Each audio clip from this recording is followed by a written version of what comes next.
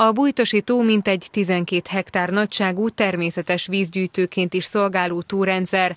A Városligeti, azaz az Örökösföld felőli túrészletét folyamatosan fejlesztették a sétányt, illetve a pihenő részeket is, sőt a közeljövőben a játszóteret és a kondiparkot is a tervek szerint új eszközökkel bővítik.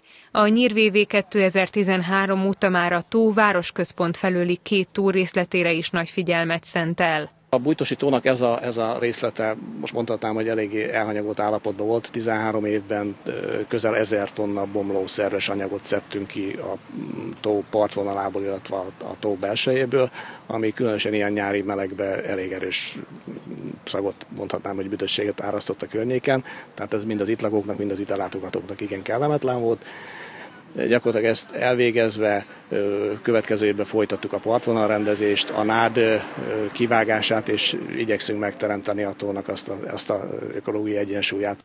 A túrészletekbe már visszaköltöztek a madarak, de az élővilág rehabilitációját tovább folytatják itt. Több mint 1200 kg őshonos pontyot telepítenek majd a bújtosi tóba, ebből 200 kg kerül a városi oldalra.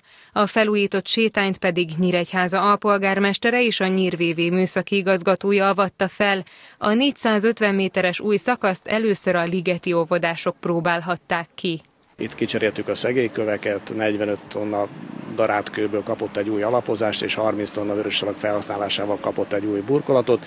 Nyilván ez azon túl, hogy esztétikus, biztonságos és kényelmesé teszi a városlakók, illetve ide látogatók számára a, a tó körbesétálását. A sétány felújítása közel 2 millió forintba került a munkálatok során kitakarították a két tó közötti átjárót is, így most már az is biztonsággal használható.